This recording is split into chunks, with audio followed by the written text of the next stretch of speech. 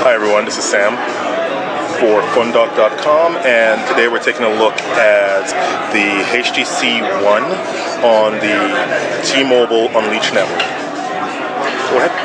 So HTC One features a great new feature, uh, Bleed Feed, which lets your home screen transform into a seamless stream of social media, pictures, and other information that's relevant to you.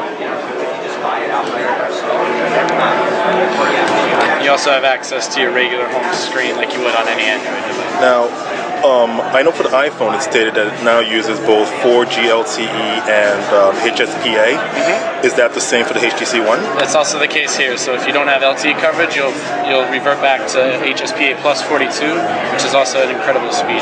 Okay, and um, do you have a speed test queued up on this? I do. Yes, let's pull it up here for you. Would you like to see the history or a live test? Um, we just do a live test real quick. Let me try to get it. Here. per gli Stati Uniti